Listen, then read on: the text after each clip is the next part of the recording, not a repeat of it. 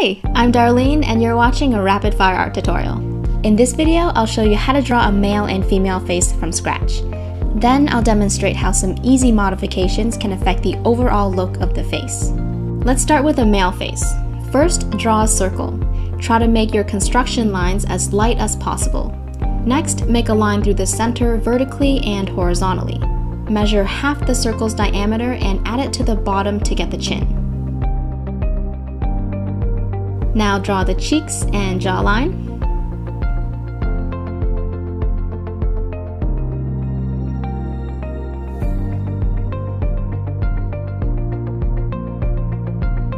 Draw a line down the whole face vertically.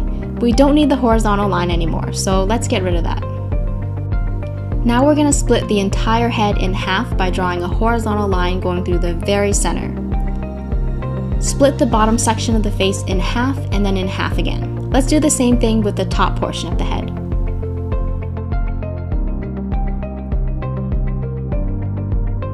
These lines are for the eyes, nose, lips, and hair.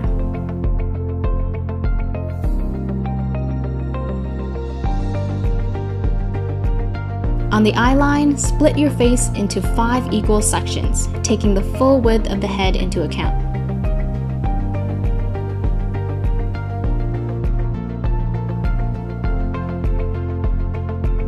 Draw your eyes in the appropriate spaces.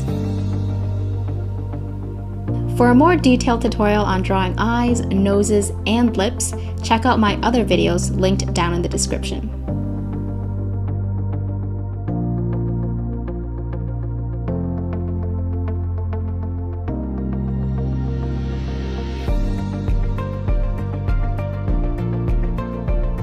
I'm just gonna give this guy some thick eyebrows, not too curved, and keeping them close to the eyes for a calm facial expression.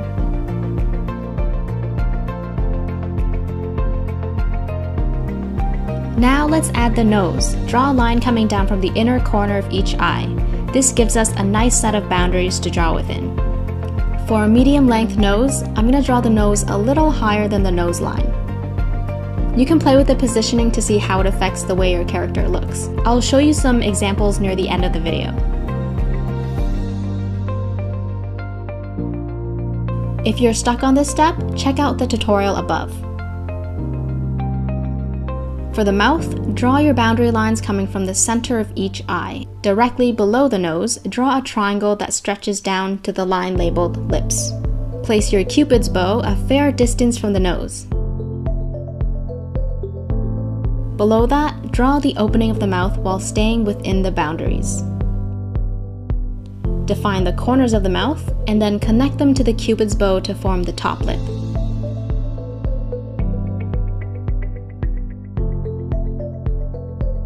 At the triangle's base, draw the bottom lip.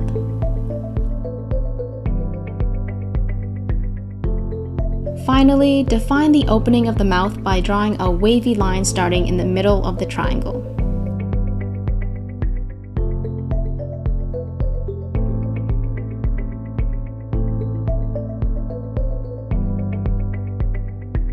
For the hair, start at the line labeled hair and draw the sides and sideburns. I like to draw the top part between these two lines. Males tend to have hairlines that are very angular and well defined.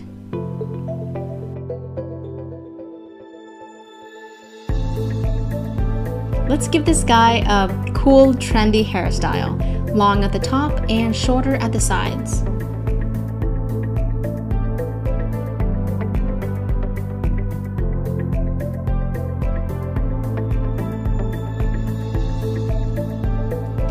I almost forgot about the ears. Between the eye line and nose line, draw your two ears.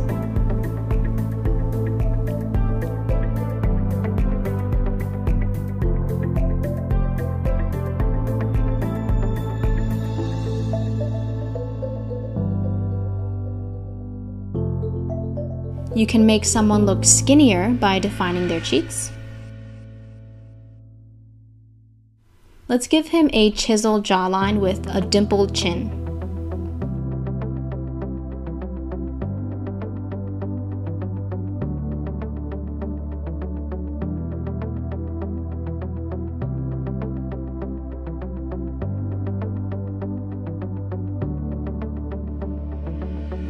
And let's also give him a thick neck.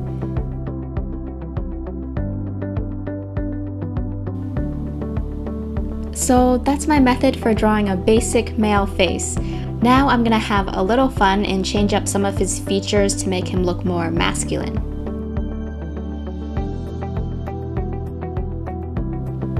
I think males generally have less prominent lips, so let's remove a layer of graphite to make the mouth really subtle.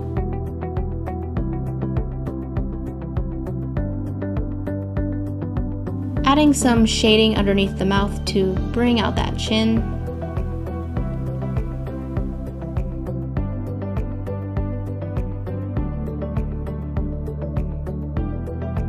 That was actually really effective. Let's also give the nose some sharper angles and a darker nose bridge.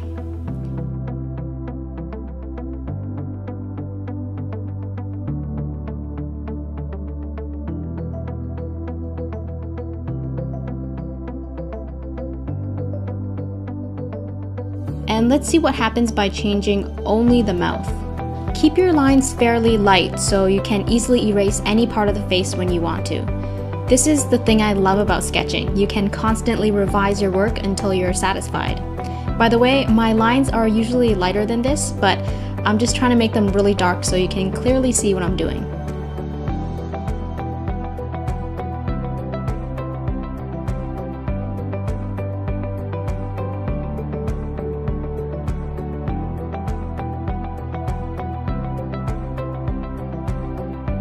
If you want your character to look more chill and relaxed, make the eyes narrower so you can see less of the iris.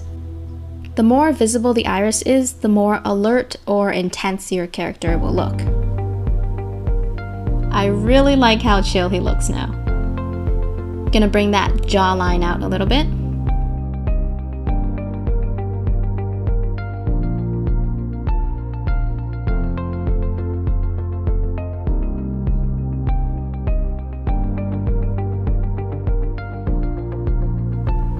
Just gonna apply a bit of shading to bring out his chiseled features.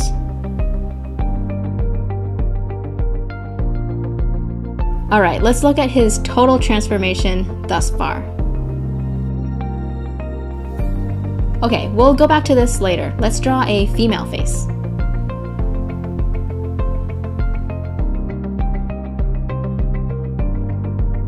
Draw a circle with a line going through the center vertically and horizontally measure half of the circle, and then add it to the bottom, except this time draw the chin a little higher.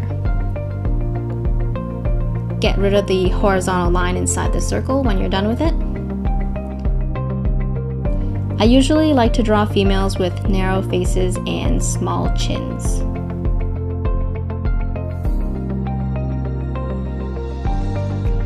Let's draw a line down the center vertically. Draw a horizontal line going through the center of the entire head. Split the bottom section of the head in half and then in half again, and do the same thing for the top portion. Again, let's split the head into five equal sections along the line labeled eyes. Remember to take the full width of the head into account when you're doing this step.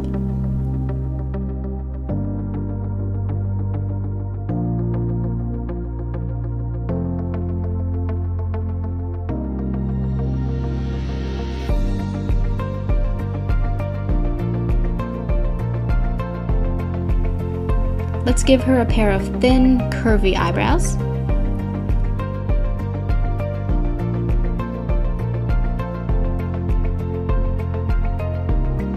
She doesn't look very happy, so I'll have to go back and fix that later. Onto the nose. Draw your boundary lines again, coming down from the inner corner of each eye. Let's give her a medium length nose by drawing it above the line labeled nose.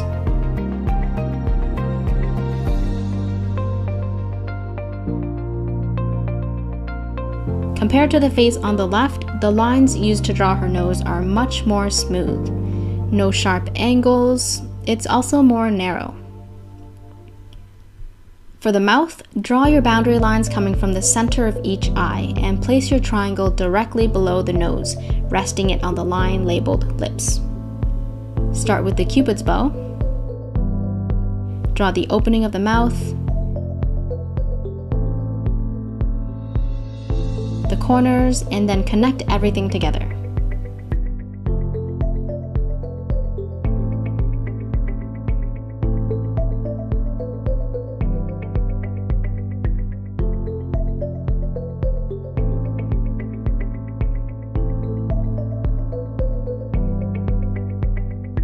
For the ears, draw them roughly between the eyes and the nose.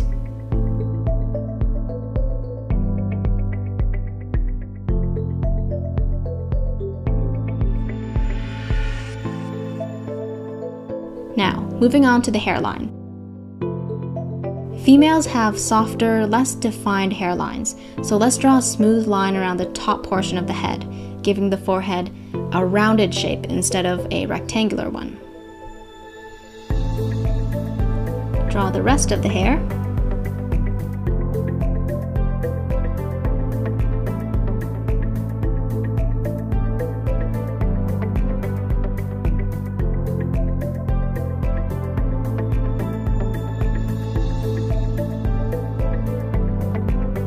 We'll give her a narrow neck.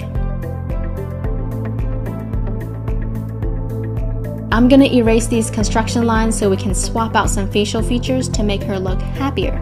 You can keep these guidelines if you need it for reference, I just wanna clean things up a little bit here. I think the reason she looks so sad and angry is because her eyes are squeezed together at the ends. So let's open those eyes right up.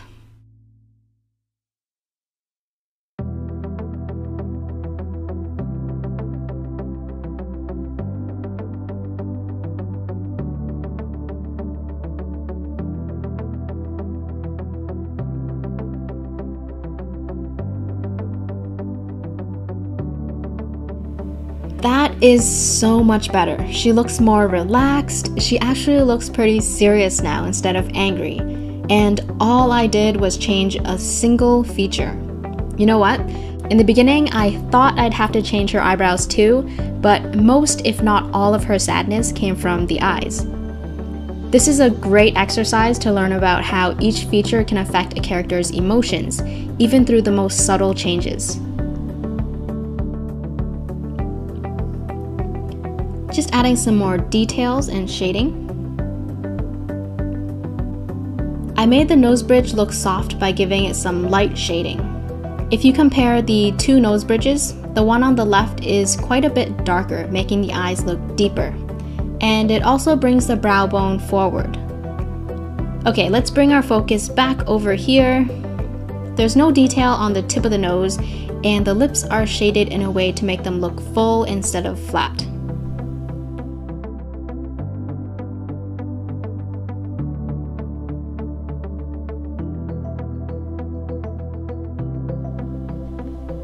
Let's go back to the guy and turn him into a Southeast Asian. I don't know why, but I like drawing the guy more than the girl. Let me give him some eyes where the outside corners are slanting up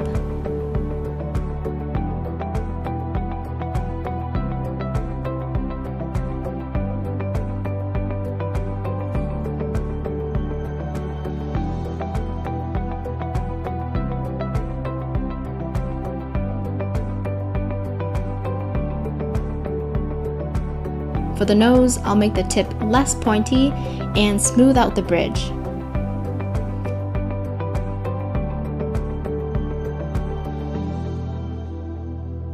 I'm Vietnamese, and from my observation, most Vietnamese men have pretty thick and defined lips, kinda like these ones. And I could keep them, but let's just change it up for fun. Now it's pretty easy to replace features after you erase them because they're still somewhat visible, so you can kind of use that as a point of reference.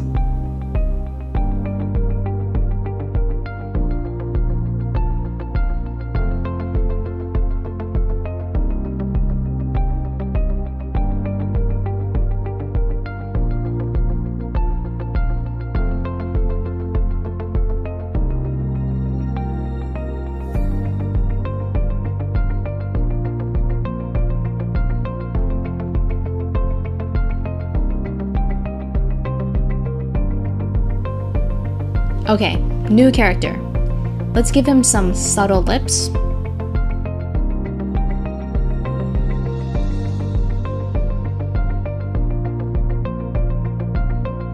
Here I'm trying to avoid all outlines.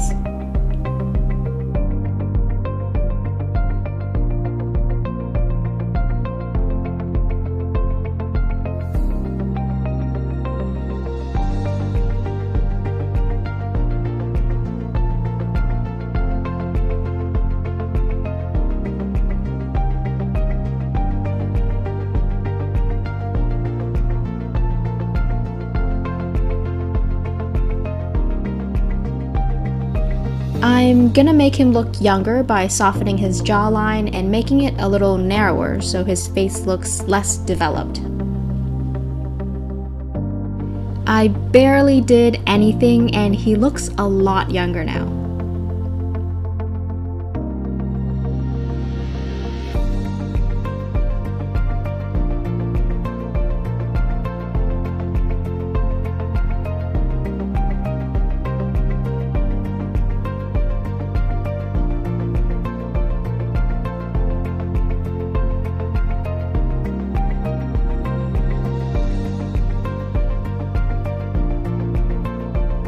Let's give him some facial hair so he looks a little bit older. We can actually make him look more innocent by making his eyes wider, showing more of that iris.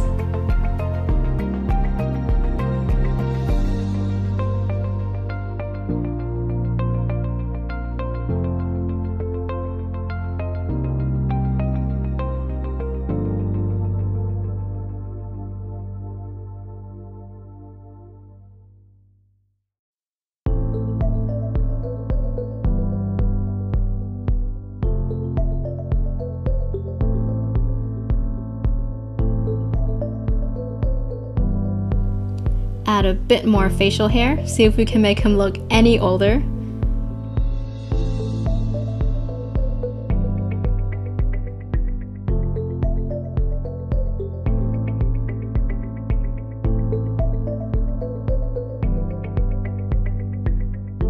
Yeah, I think I only added like five years.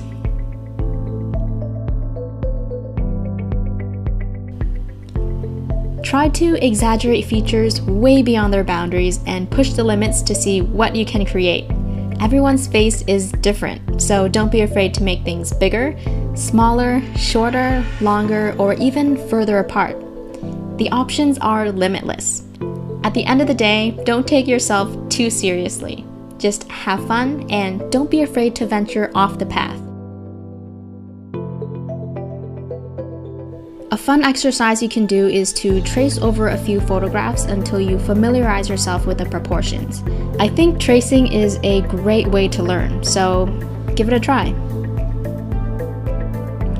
And I don't think this tutorial would be complete without showing you some more examples.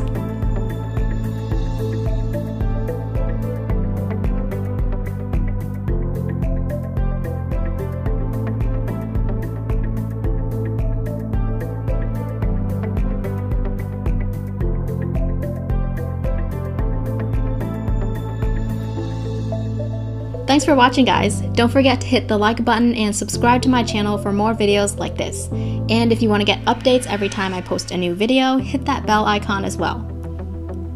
If you want to vote on the next tutorial, you can do so by becoming a patron. Click the orange button on the top left to learn more.